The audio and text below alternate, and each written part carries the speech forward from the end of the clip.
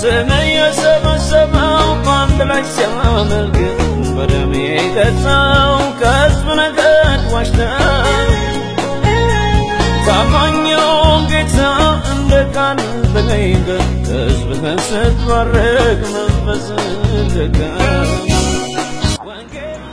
እንዴት ናችሁ? ሰላም ናችሁ ወይ? አንድ አጠር ያለች መልእክት ነገር ይዘን የመጣ ነው።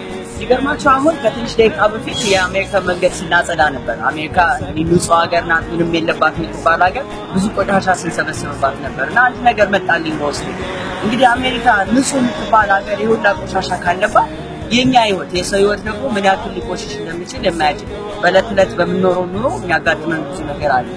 ግን መጽሐፍ ቅዱስ ላይ ዮሐንስ መልእክት ላይ እንዲህ ይላል ሰውን ሁሉ ሊያድንና ሊያነጻ የሚችል አንድ የኢየሱስ ክርስቶስ ደም አለ። የኢየሱስ ክርስቶስ ደም ከኃጢአት ሁሉ አለ ከተባለ ሰዎች ከሚሉት ኃጢአት ሊያነጻ የሚችል የታመነ ደም አለ። ሰዎች ደግሞ የክርስቶስን ደም እንደ ማንጫት ሊጠቀሙበት የሚችሉት በክርስቶስ ኢየሱስ ሲያምኑ ብቻ። ስለዚህ አንድ የዘላለም ሕይወት እንዲኖረው እንጂ እንዳይጠፋ እግዚአብሔር አንድያ ልጁን እስኪሰጥ ድረስ ዓለሙን እንዲሁ ከፍቅር የተነሳ የተሰጠ ይህንን ነፃ የሆነ ደም እንድንጠቀምበት እንጋብዛችኋል። እንግዲያውስ ሕይወታችን ቆሻሻ እኔ ከዚህ ሕይወት መውጣት እፈልጋለሁ፣ አዲስ ሕይወት መጀመር እፈልጋለሁ ሰዎች አንድ ነገር ላስታውቃቸው። የኢየሱስ ክርስቶስ ደም ከኃጢአት ሁሉ ያነጻል። ሁሉ ኃጢአት ተሰርቷል።